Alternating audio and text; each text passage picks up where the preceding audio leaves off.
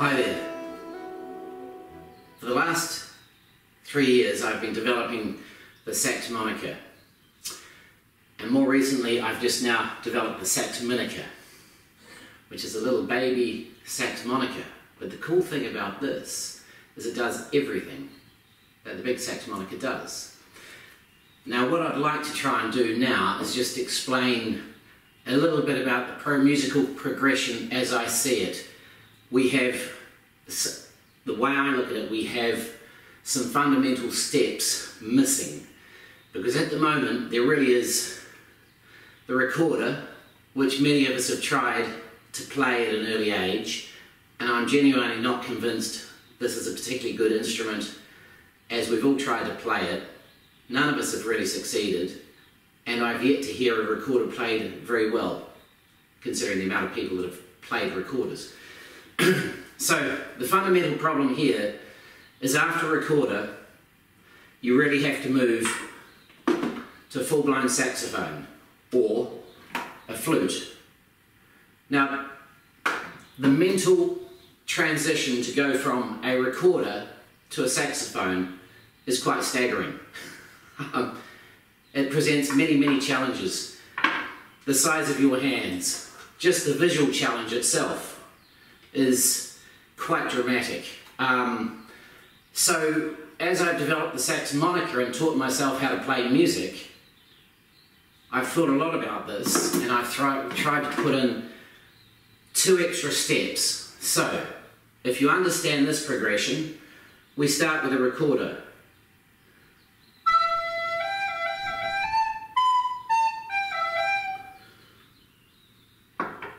Now we can go to a sax minica.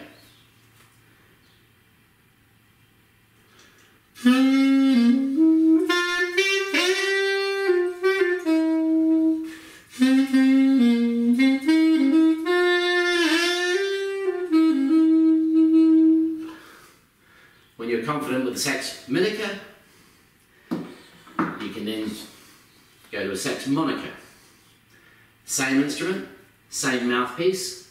This is the same mouthpiece, that's the same mouthpiece. The primary function is our lungs and our mouthpiece. Now, if all goes right, you should be able to make a similar sound.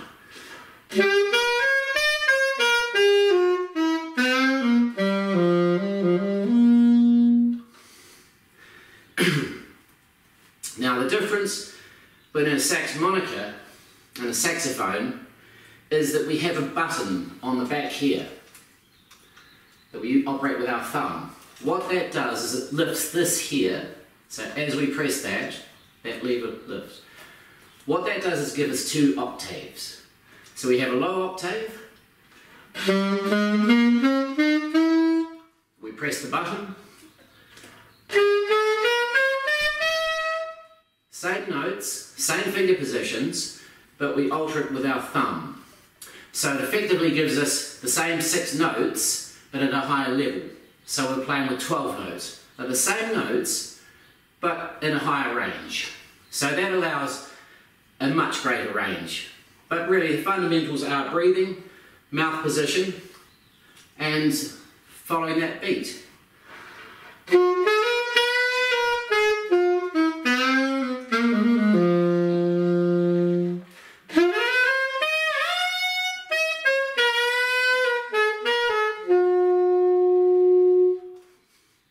Saxophone using two octaves. The saxophone has about two and a half octaves. You can get some very high notes, but quite difficult to play because it's in our mouth position, and likewise with the very low notes. Um, all the mid-range notes are really no different from a sax monica.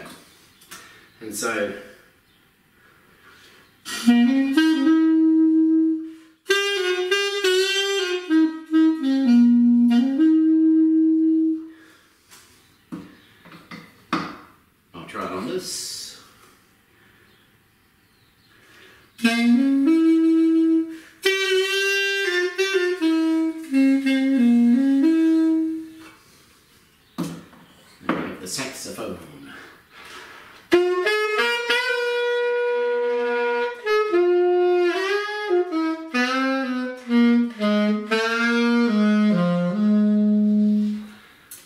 Now there's really no fundamental difference, and I'll explain the next stage as to why there's not a lot of difference. On the sax minica, what I've effectively done is given you one line of music. If we were to call these holes a line of music, it's just a line of music.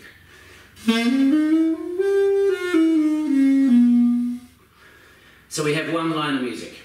You don't need to get confused, it will work over many beats, uh, it will play many songs, but it's just one line of music. As we step up to the sax monica, we have three lines of music. So effectively one line, two lines, three lines. So you've got more variety, you can play over more keys. It's the same concept, just more variety. Now when we step up to a saxophone, it's the same thing, but because this has all the notes and all the octaves, it allows us to play, for argument's sake, 25 lines of music. The difference is you've got to find those lines of music in here. And that's where this machine gets a little bit confusing for a learner. But if, if you understand you're playing one line of music on this, you've got three lines of music on this, and you have 25 lines of music on this, um, you, you, probably have many more lines of music because it will play every scale, every key, every note, um, and there's many different scales. Uh, all the traditional Western scales, you then can get to the Middle East and have a whole lot of different scales. This will play them all. But the confusing bit is to figure them out. And that's hard work. So, if we break it down into one line of music, three lines of music, 25 lines of music, we take the one line of music, we learn that. We move to this, we put in the extra two lines of music, we start to learn that. So then the jump from here to here to here is actually very simple. We use exactly the same mouthpiece, so that's an alto sax mouthpiece. It's all about our breathing and our embouchure, which is your mouth muscles. As they develop, the tones you will be able to make will be crisper and clearer. A lot of the hiss will disappear and you'll train your lungs and your mouth to work in unison. That really is how this is progressing. Now, if you develop your skills on a saxophone, on a sax minica, sax monica, saxophone, I'm talking about the fundamentals being breathing and embouchure and to be able to follow the beat, which is very critical. Um, after that, you can look at the technical aspects of music, but I feel that they should follow down the line. We want to start with the basics. Um, I, in skateboarding, we learned to balance, we learned to slide a long time before we put our tricks in. So if we've got the fundamentals, then we can start to put the tricks in. And once you have several lines of music or several, yeah, several musical scales that you know, you can rip on this thing all, all day long. And as long as you can follow the beat, then you're pretty good to go. Um, Everyone wants to rip a big sax solo, and here's the easiest method. Sax minica, sax monica, saxophone. Now I want to just point out that a flute, once again, a very complicated instrument. A lot of girls will go from a recorder to a flute. They're going to struggle with their hand positions because flutes are, once again, complicated. They're long, your fingers aren't big enough, so young kids are going to struggle with flutes and saxophones. Um, but effectively a flute is one, two, three fingers here, one, two, three fingers there, and we play it sideways. So this is, once again, fundamental skills are breathing. Now, if you imagine that to be a saxophone, it's played like that. A flute, we move it up and play like that, but our hand positions largely stay the same. So this is where the sax minica and the sax monica provide perfect stepping stones. These aren't expensive instruments, but they've got a huge amount of potential. They can take you to many places. Um, you can carry these with you anywhere, anytime. Uh, you can play in the car, you can play on the beach, you can play while you're waiting for your mates at school. It's a bit more difficult to take a $2,000 saxophone to the beach. In fact, you wouldn't do one. If you did, you'd be crazy um, because you'd find you need a $500 service after it. But really, the fundamentals all stack up. Sax minica, one line of music. Sax monica, three lines of music. Saxophone, 25 lines of music. And once you have a few lines of music, you can rip on this.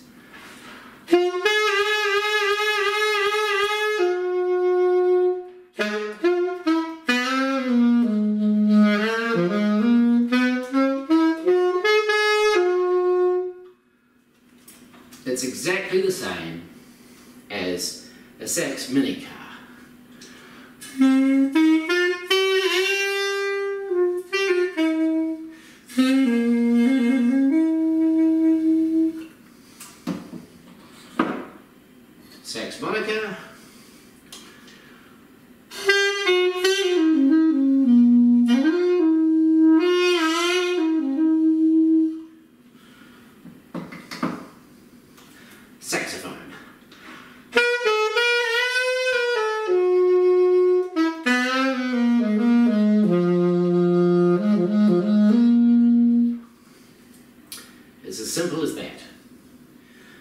Now, here's an example of a line of music that has been turned into a song.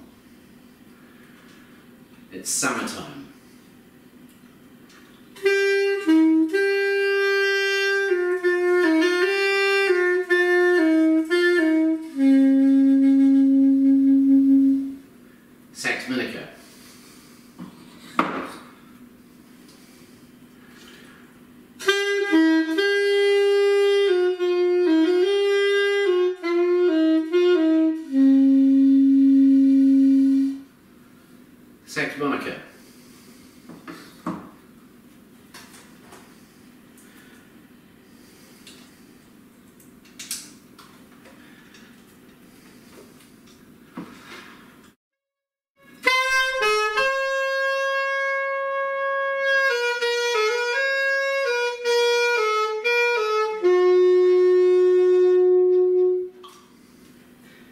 Exactly the same finger movements on sax minica, on sax monica, on saxophone.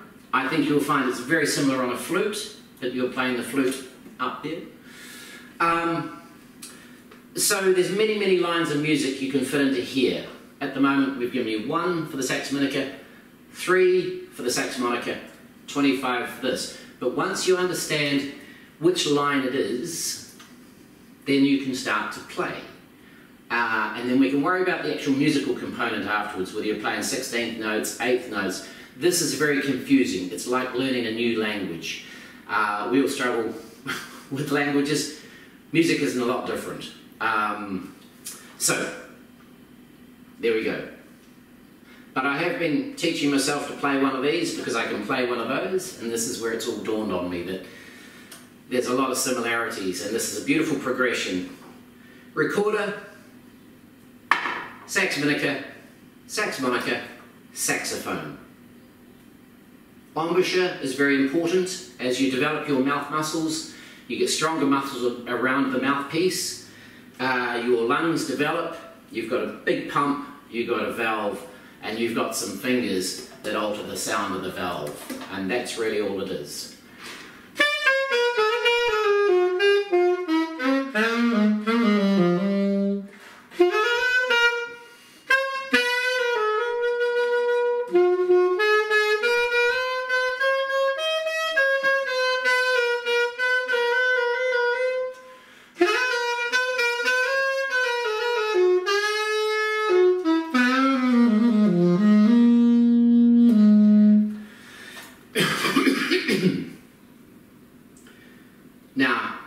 This is predominantly in your breathing. Once you develop your breathing and your embouchure, you should be able to step straight up to a saxophone and rip some sort of solo. Maybe not on day one, but you're a hell of a long way closer to ripping a solo if you start here, here, here.